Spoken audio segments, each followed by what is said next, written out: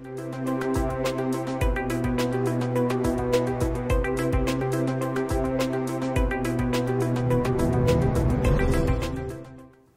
I'm John Everett with Zurn Industries.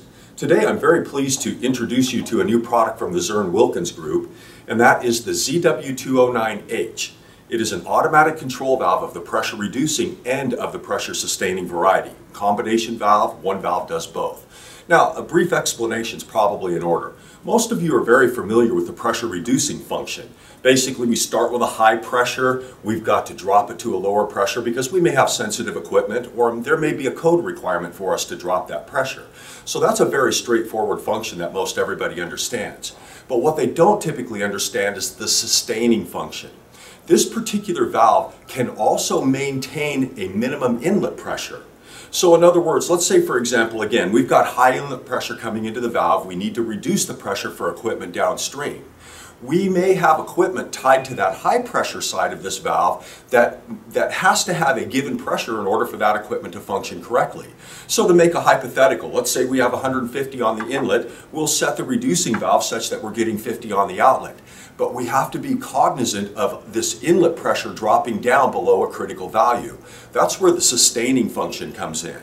So what we would do in that particular case is we would set the sustaining function such that if this inlet pressure ever dropped down to a given value, which we would adjust, we would set that pressure ourselves, this valve would begin to close itself off. Thus, it's going to maintain a given inlet pressure. Again, this may be for an application whereby we have some equipment attached to the inlet side of this line, and again, we need to reduce pressure downstream, but the equipment attached to the inlet side may be very pressure sensitive, and if that pressure falls too low, that could harm that equipment. So once again, just to hit upon what the valve does, it's a reducing valve and a sustaining valve.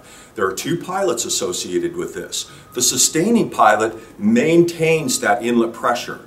In other words, we will adjust this regulator or this pilot here such that if this inlet pressure ever falls down below a critical value, the valve will shut itself off. By doing so, that would cause a rise again in that inlet pressure, protecting that sensitive equipment from ever going down to a pressure that's too low for it. The other pilot is a pressure reducing pilot, and as we said, this will go ahead and knock the pressure on down to the downstream piping for that equipment that can't tolerate the high pressure. So in the event that you need a valve whereby we do need to reduce pressure for downstream equipment, but we also need to maintain that pressure for upstream equipment, the ZW209H pressure reducing and sustaining valve would be the proper valve for you. I would strongly encourage you to get on the website at zurn.com and take a look at this product. Or if you have very specific questions, feel free to call us. We're happy to help you. That's what we're here for. We want to encourage you to call us and we'll give you all that information that you could possibly need on this particular product. Thank you for watching. For more information, please subscribe to our One Zurn YouTube channel.